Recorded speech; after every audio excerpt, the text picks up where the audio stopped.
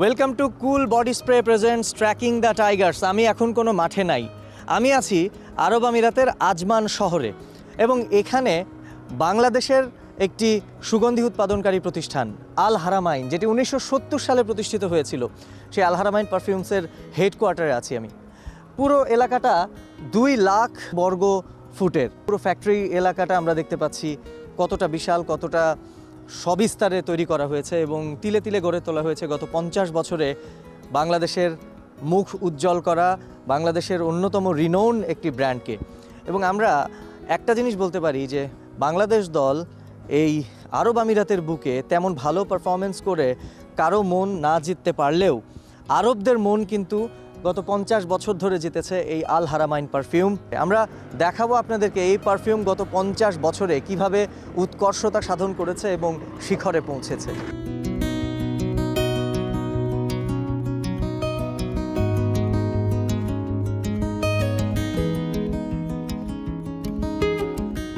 Perfume তৈরির পর তার সবচেয়ে গুরুত্বপূর্ণ বিষয় হলো এটিকে বাজারজাত করার জন্য সুন্দর প্যাকেজিং করা এবং প্যাকেজিংটা আমরা দেখতে পাচ্ছি এখানে। এটা হচ্ছে ডেটোর নয়ের ব্র্যান্ডের তারা বাজারজাত করছে এবং হরেক রকম ব্র্যান্ডের পারফিউম নানান সেকশন আলাদা আলাদা সেকশনে সেগুলো তৈরি করা হয়। এবং এই মুহূর্তে আরও একটা সেকশনে আমরা এসেছি। এইটা এই এই সেকশনে কোন পারফিউমটা তৈরি করা হচ্ছে? এটার নাম?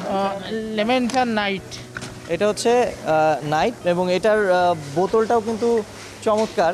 আমরা যদি দেখি এটা এটা সেটা মেশিনের মাধ্যমে এটারকে চাপ দিয়ে এটার ভেতরে প্রেশারটা আসলে সলিড রাখা হচ্ছে যাতে দোকানগুলোতে সেটা দীর্ঘদিন থাকে বিভিন্ন শোরুমে এবং সেটা প্যাকেজিং হচ্ছে প্যাকেট হওয়ার পর সেগুলো এভাবে যাবে আরেকটা সেকশানে এবং সেখানে দারুণ একটা বক্সের ভেতরে সেটাকে মুড়িয়ে আরও আকর্ষণীয়ভাবে মানুষের কাছে সেগুলোকে পাঠানো হয়। আরবদের জন্য এক ধরনের পারফিউম তৈরি হয়।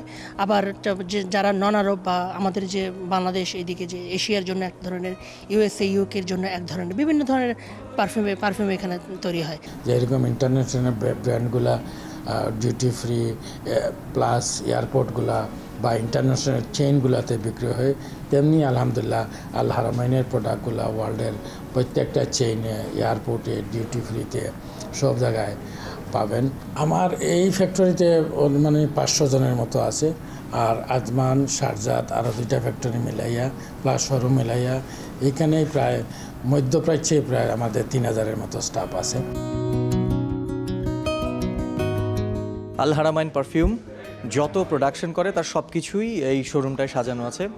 হতে পারে নিম্ন দামের, মধ্যম দামের কিংবা উচ্চ মূল্যের, সমস্ত কিছুই এখানে সাজানো ডিসপ্লেতে। যেহেতু এটা অ্যারাবিয়ান একটা ব্র্যান্ড এবং পারফিউম হোক কিংবা আতর সব কিছুই অ্যারাবিক একটা ডিজাইনের প্যাকেজিং আমরা সব কিছুতে দেখতে পাচ্ছি এবং এখানে আরও এক্সপেন্সিভ এবং আরও উঁচু কদরের সুগন্ধি পারফিউম আতর যেভাবেই বলি না কেন, সব কালেকশন এখানে রাখা আছে। আমরা যদি একটু দেখি সবচেয়ে এক্সপেন্সিভ কালেকশনের মধ্যে পড়ে এগুলো ম্যাজেস্টিক কালেকশন এবং এখানে আমরা যেটা দেখতে পাচ্ছি ইমপ্রেস অফ পারফিউমস অর্থাৎ এই দুটোতে যে কালেকশন থাকবে, এগুলো হচ্ছে সবচাইতে দামি এক্সপেন্সিভ এবং এগুলো আসলে কত দামে সেল করা হয় এই এক একটা বক্স এইটা এই যে এইখানে ছয়টা ছয় পিস আছে ছয়টা ডিফারেন্ট আতর আছে সর্বোচ্চ কোয়ালিটির এইটা এটা আমাদের প্রাইস পঁচিশ হাজার দেরাম যা বাংলাদেশি টাকায় প্রায় সত- সাত লক্ষ টাকার কাছাকাছি। এখানে আমরা আরও কিছু চমৎকার বক্স কালেকশন দেখতে পাচ্ছি। এটা এটার নাম হচ্ছে আতার শেখ আল আরব। এই নামে এই আতরটাই হয় আর এটার প্যাকেজিংটা আমরা যদি দেখি আমি কিন্তু এটা উঁচু করতে পারছি না এক হাতে। অনেক ওজনদার এটা কয় কেজি হবে? পাঁচ সাত কেজি ওজন নাকি? এটা তুলতেই পারছিলাম না। ক্রিস্টালের তৈরি এবং এটা হচ্ছে আতার শেখ আলারাব এটা কেমন দামে সেল করা হয় না এইটাও অনেক দামের। এটা তিন হাজার ডলার এটার প্রাইস এটা বাংলাদেশি প্রায় এইরকম প্রায় দুই লাখ সত্তর হাজার টাকার মতো। এখনকার যে কারেন্সি সেটার মাপ নিলে এবং এখানেও সুন্দর সুন্দর আরও বেশ কিছু আতরের কালেকশন আমরা দেখতে পাচ্ছি। এই যে আপনি বলেন সবচেয়ে দামি, এটা সবচেয়ে দামি, এটা কেন এই আতরগুলো সবচেয়ে দামি এবং এক্সপেন্সিভ বিশেষত্বটা কি? এর মধ্যে কি উপকরণ ব্যবহার করা হয়? এটা সরাসরি ডাইরেক্ট আগরের যে কাঠ থেকে যে অয়েলটা উৎপন্ন হয়, ওই অয়েলের মধ্যে অনেক ক্যাটাগরির আছে। এর মধ্যে সর্বোচ্চ ক্যাটাগরির এইটা। এগুলো খুবই রেয়ার পাওয়া যায়, এগুলো। এটার প্রাইস প্রায় বাংলাদেশি টাকায় প্রায় দুই লক্ষ ডলার সরি ইউএস ডলার দুই লক্ষ ডলার এটা। প্রতি কিলো? প্রতি কিলো আসে পার কিলো। সেই আগর গাছের নির্যাসগুলো কীভাবে তারা প্রসেস করে আতর তৈরি করে আমরা এই- এসে গেছি এখন কারখানায়। একটু দেখার চেষ্টা করব। এগুলো এ- এগুলো আগর গাছের এগুলো এখানে পানিতে ভিজিয়ে রাখা হয়েছে? কতদিন ভিজিয়ে রেখেছেন এগুলো? এক মাস। এক মাস ভিজিয়ে রাখার পরে এই যে পানিটা হচ্ছে এই পানিটাকে ইউজ করবেন? জি এইটা ডালবো এইখানে। আচ্ছা আচ্ছা। পানি সহ এই পানি সহ এই জায়গায় ডেকে ডালবো। ডালার পরে এই আগুন যখন বসে তখন বাষ্প হয়ে আতর বাহির হবে। আচ্ছা আচ্ছা। আমরা একটু দেখি এই যে এক মাস এটা ভিজিয়ে রেখেছিল এই আগর গাছের অংশগুলো যেগুলো তারা এক্সট্র্যাক্ট করেছে এবং সেগুলো পানিতে ভিজিয়ে রাখার এক মাস ভিজিয়ে রেখে এখানে তৈরি করেছে এবং এগুলো দেয়া হয়েছে এই চুলির চু- চুলার ভেতরে। এগুলো হিটে কতক্ষণ এগুলোকে রাখা হবে? এগুলো প্রায় পনেরো থেকে পনেরো দিন থেকে এক মাসের মতো রাখা হয় এবং ওইগুলো থেকে মিনস যে বাষ্পটা তৈরি হয় ওই বাষ্পতে অ্যাকচুয়ালি অয়েলের লেভেলটা চলে আসে। জালে জালে আচে আছে কিন্তু এই আতরগুলো ধীরে ধীরে হতে থাকে।